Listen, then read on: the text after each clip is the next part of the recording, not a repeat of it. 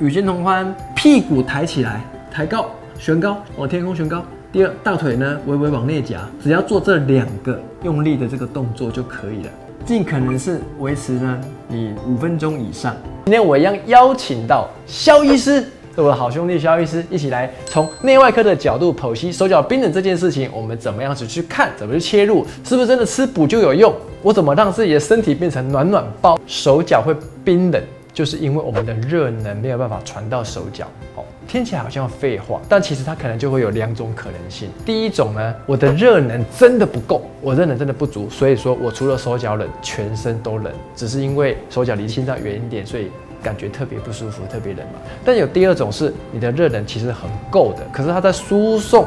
到我们的手脚末梢时，它的物流出了一个状况，比如说在这边塞车了，在这边塞车了，导致呢你手脚是冰冷的没有错，可是你的热能都积在肚子里面哦。那这种情形哈，就是你的热能是积在体内的，反而并不是所谓的体质寒哦。所以我们先区分，第一是真的虚。第二是你塞住了，我们的血液没有办法到达四周嘛，所以你就会觉得这个手脚是变冷冷的，也是一样分成两个来看了哈。但是我们可以用一个比喻来说明这件事情哈，比如说我们的心脏其实是我们身体热能和动能的最主要来源。对吧？你身上没有其他的动能嘛，哈，所以我们的这个热能要从心脏传到四周，要透过血液循环来的。那心脏就可以像是一个水拱，我们的身体就像是大楼，大楼里面有很多种很多个房间啊，也是要以通为治的意思。那还有另外一种情况，比如这个水拱。本身就很小啊，你偏偏要盖一百层楼高啊，当然离心脏最远的那些房间，大概率上就得不到血了。所以说，如果你是水管塞住的那种情况，哈，刚刚那个比喻，那你就觉觉得冷，还误以为你是水不够，误以为你是那种不够，还去补去灌，那会发生什么事？通常就是会什么爆掉。所以我们常常遇到很多人哈，他四肢冰冷，他就去吃什么吃补啊，或者是来加母鸭羊肉炉，或者是炖一些补汤，结果一吃他就说啊，我手脚好像也没有比较暖，但是。我的脸就开始爆痘了，对对，然后开始大便就见红了，因为痔疮也爆出来了啊，往往就是这种情形。上身热，下身冷，或是某一部分热，某一部分冷的话，那这是一个什么样的状况？上半身如果觉得很热，下半身觉得很冷，这个通常是温经汤症啊。温经汤是我很常运用在更年期妇女啊，大概就是四五十岁的一个处方。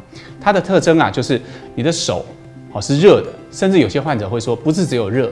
会麻，而且越到晚上越麻越热。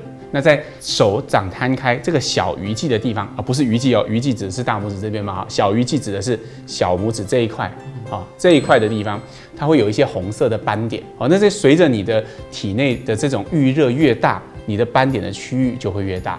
所以我常给患者吃温经汤，他本来假设这么大，我每次来都看看他的小手手。好，那他的小手手是这一块啊红斑，如果越来越收缩，越来越收缩，然后到最后不见了，也就代表我们这治疗是成功的。他的手热和手麻的状况也会消失。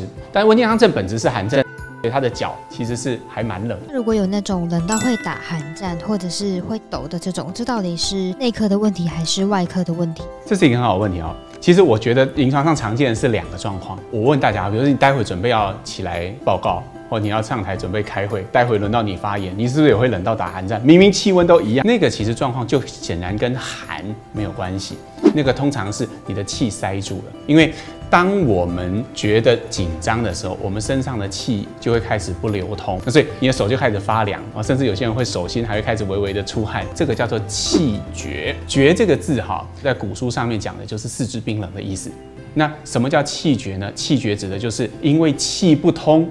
而造成的绝，还有水也会卡住，水也会卡住。比如说，什么叫水卡住？我举个例子啊，我不知道大家有没有晕车的经验啊？晕车、晕船，或者是肠胃不好的时候，你会觉得，哎呦，晕车、晕船的时候，你除了头晕啊、胸闷啊，然后觉得恶心、想吐啊、吃不下东西之外，拉肚子，你还会有一个症状，其实手脚通常也是会冰冷。那个时候的冰冷，就是因为你的水水饮太多了，卡在你的胸膈里，它阻碍了心脏传导到四末的这个功能。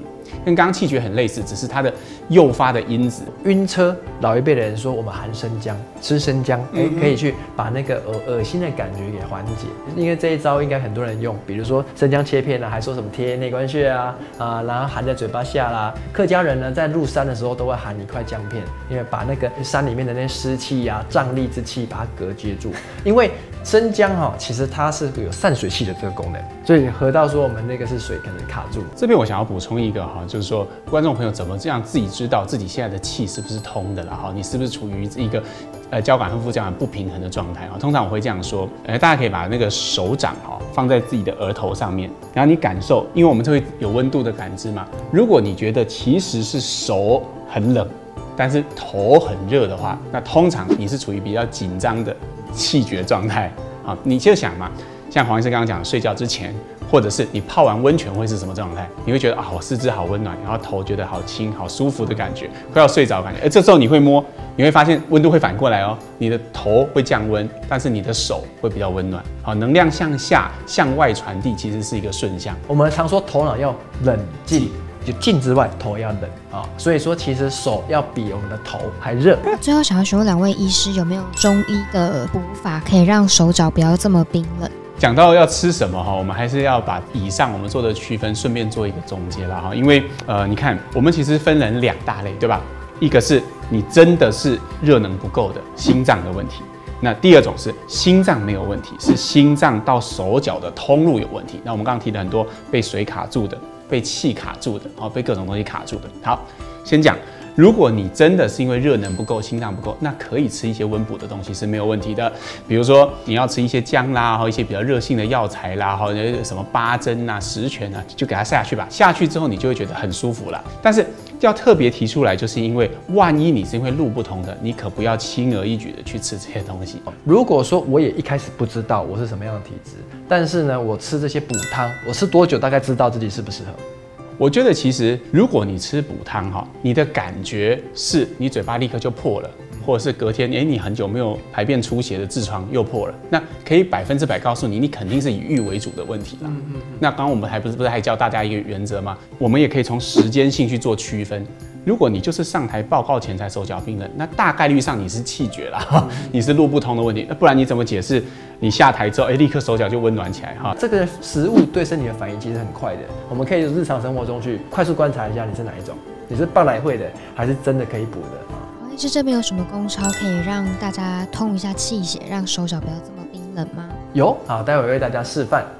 就是这边为大家总结一下哈，我们常讲哈，不患寡而患不均啊。这句话意思就是说哈，哦，如果我手脚冰冷真的虚，那就是患寡哦。那这时候其实对中医来讲蛮单纯的，啊补下去效果很快，而且很简单。但难的就是大多数的情况，除了寡之外，还有一些不均，就是几乎人会来看病，拖到来看病，一定都有卡住塞住的情形。所以说太单纯的处方，就是说我纯补的、纯泻的，其实哈。都对身体某种程度上是负担，或者解决部分的问题而已，很难去用一个方打通天下。哎，这包这铁药包治手脚冰冷，有的话我早就卖了嘛。我在最后跟大家分享一个功操，办公室就可以做。它主要是呢是要把我们的腰的腰阳关的阳关穴提起来，因为你可以想象我们的阳气呢是从阳关嘛哈，阳气的关卡，它是从腰这个地方输送到我们四肢的，所以说腰不好久坐哦，这边腰部的气血不活络时，手脚也很容易冰冷。待会教大家做手脚冰冷的功操呢，我会跟大家介绍这个叫悬阳关哈，把我们的阳关穴，就是我们督脉在腰椎第四椎下的这个阳关穴提起来。把阳气的关卡打开，那具体做法很简单，可是其实有点累人哦。吼，一开始我们可以找一面墙，这个墙是让我们保持平衡用的。首先呢，把我们的手指头呢轻松的搭在墙上，用指腹轻轻的贴着墙就好。因为等一下尽可能避免说我们的重心倚靠在墙上，好，我们可以注意尽可能让我们的指腹不要被压到变白啊，尽可能轻轻的接触就好。两只脚与肩同宽。脚尖呢最好内八，或者是往前平立，总之要避免掉外八的情形。接下来做法很简单哦，我们把我们的阳关，或者是我们一开始用尾椎也可以，把尾椎往上翘，好像屁股往上翘一样。这时呢，你会发现呢，我们的脚跟好像被屁股带起来了，有点微微垫脚尖的感觉。